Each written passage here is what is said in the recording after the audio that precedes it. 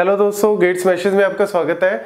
आज की इस वीडियो में हम डिस्कस करने जा रहे हैं मेमोरी स्टैक ऑर्गेनाइजेशन जैसा कि हम स्टैक ऑर्गेनाइजेशन को दो तरीके से इंप्लीमेंट कर सकते हैं। या तो हम रजिस्टर्स को एज ए स्टैक इंप्लीमेंट कर सकते हैं, या फिर हम रैम को यूज़ कर सकते हैं और उसको हम एज ए स्टैक इंप्लीमेंट कर सकते हैं। लास्ट वीडियो में हमने डिस्कस किया था रजिस्टर्स को हम कैसे एज ए स्टैक इंप्लीमेंट करते हैं। यहाँ पे हम देख रहे हैं कि सीपीयू जो है वो कनेक्टेड होता है डायरेक्टली रैम से भी। तो यहाँ पे रैम को हमने क्या किया है? कुछ पोर्शन हमने प्रोग्राम के लिए, जहाँ पे हमने सेट ऑफ़ इंस्ट्रक्शन जो भी हम सी सी प्लस प्लस में प्रोग्राम लिखते हैं, जैसे स्कैन एफ़ प्रिंट एफ़ क्या है काइंड ऑफ़ इंस्ट्रक्शंस तो इंस्ट्रक्शंस जो है, वो यहाँ पे स्टोर हो जाएँगी. डेटा लेट से int a is equal to ten b twenty c thirty तो जो डेटा है, जिसको हम बोलते हैं ऑपरेंड ऑपरेंड हमने यहाँ पे मेमोरी में स्टोर कर दिया और हमने कुछ पोर्शन जो है, वो एज ए स्टैक इंप्लीमेंट कर लिया. तो ये देखो जो एड्रेस लोकेशन है हमारी 3000 से 4001 तक हमने क्या किया, उसको एज ए स्टैक इंप्लीमेंट कर लिया।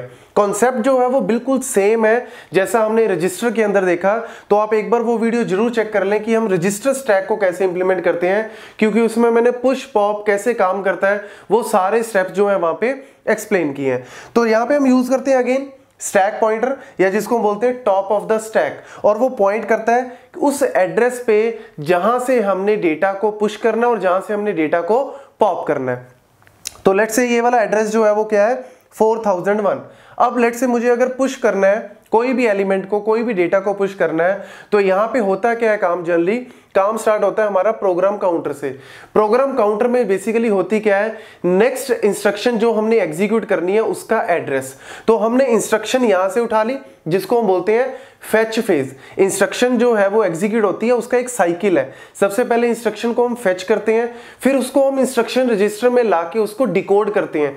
डिकोड करने के बाद हम उसको क्या करते हैं? एग्जीक्यूट करते हैं। तो एग्जीक्यूट करने के टाइम पे हमें यहाँ पे एड्रेस रजिस्टर में पता लगता है कि जिस ऑपरेंट को आप ढूंढ रहे हो, वो डिकोड करने के बाद आपको पता लग जाएगा कि उसका एड्रेस कहाँ पे पड़ा है। तो आपने वहाँ से डेटा को उठाना है और उस डेटा को उठा के अब आपने जो है वो पुश या पॉप जो भी उनके बीच में एडिशन सब्ट्रैक्शन मल्टीप्लीकेशन जो भी काम करना है, वो अब आपको परफॉर्म करना है। तो उसके लिए हम यूज़ करते हैं यहाँ पे पुश एंड पॉप को। तो लेट से कि अगर मुझे कोई भी एलिमेंट पुश करना है तो stack pointer is equal to stack pointer minus one यहाँ पे हमने स्टैक पॉइंटर को जो टॉप ऑफ़ द स्टैक है, उसको हाईएस्ट एड्रेस पे लेके आए हैं और हम नेगेटिव वे में जा रहे हैं।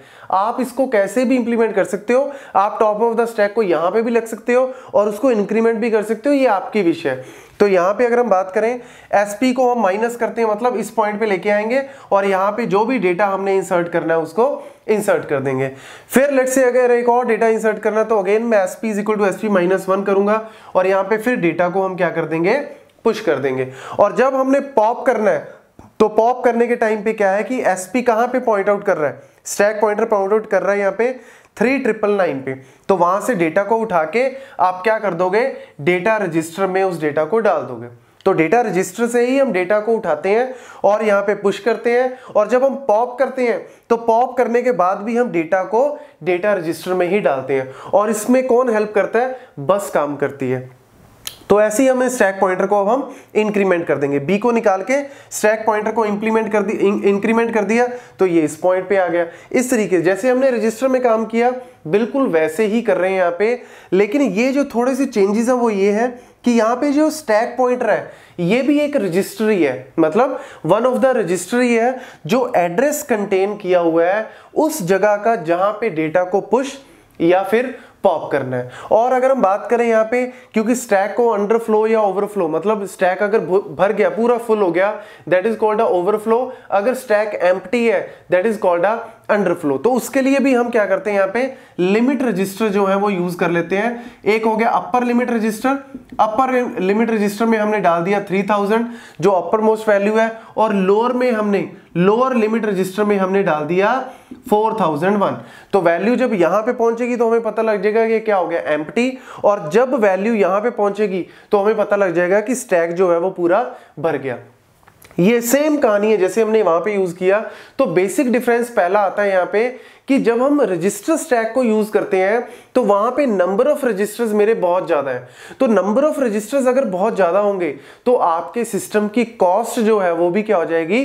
बढ़ जाएगी। लेकिन अगर आप यहाँ पे एज ए रैम को मतलब रैम को अगर आप इंप्लीमेंट कर रहे हो एज ए स्टैक तो आपकी जो कॉस्ट है, वो कम कम होगी as compare to the register stack क्योंकि रैम का जो कॉस्ट है, वो as compare to the register काफ़ी कम होता है। तो इसीलिए यहाँ पे हमने कॉस्ट इफ़ेक्टिव बनाने के लिए हम इसको यूज़ कर सकते हैं। लेकिन कॉन्सेप्ट वही है सेम है। ये भी आपका ज़ीरो एड्रेस इंस्ट्रक्शन के लिए हम यूज़ करते हैं। ज़ीरो एड्रेस जैसे कि हमने डेटा को पुश करना है तो पुश ए किया पुश बी किया, और उसके बाद लेट से मुझे ऐड करना है तो मैंने सिंपली लिखना है ऐड सब्ट्रैक्ट मल्टीप्लीकेशन उसके साथ हम कोई भी ऑपरेंट यहाँ पे मेंशन नहीं करते।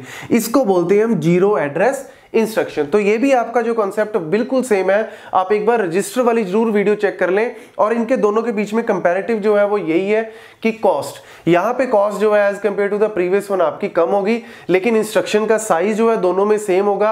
आपका इंस्ट्रक्शन रजिस्टर का साइज़ जो है वो दोनों में क्या होगा? सेम होगा।